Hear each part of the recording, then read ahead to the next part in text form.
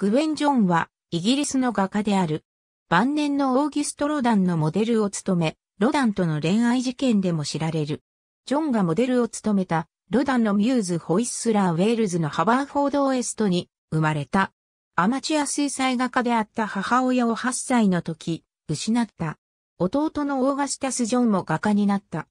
1895年から1898年まで、ロンドンのスレード美術学校で学び、1900年にニューイングリッシュアートクラブの展覧会に初めて出展した。1904年に友人のマクニールとボルドーから予定を定めずにローマに向かう旅を始めたが、この旅はトゥールーズまでで終わった。グウェン・ジョンはパリへ行き、オーギュスト・ロダンのモデルの仕事を得た。出会った時、64歳のロダンの愛人になった。パリでは当時の指導的な芸術家たち、アンディ・マティス、パブロ・ピカソ、コンスタンティン・ブランクーシ、ライナー・マリア・リルケと知り合うが、ロダンとの恋愛を終わらせ、1910年にパリ郊外のムードンに今日定め、ほとんど一人で猫と暮らす生活を始めた。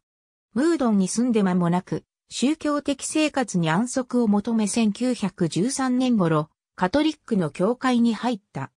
1911年には、ニューイングリッシュアートクラブへの出展をやめたが、ポスト印象派の作品を集めたアメリカのコレクター、ジョン・クイーンがパトロンとなって、グエン・ジョンの作品を購入した。1913年には、クイーンが開催に協力したアメリカで開かれた国際展覧会、アーモリー・ショーにグエン・ジョンの作品の一つが展示された。1919年から1920年代後半まではパリのサロンドトンヌに出展した。ありがとうございます。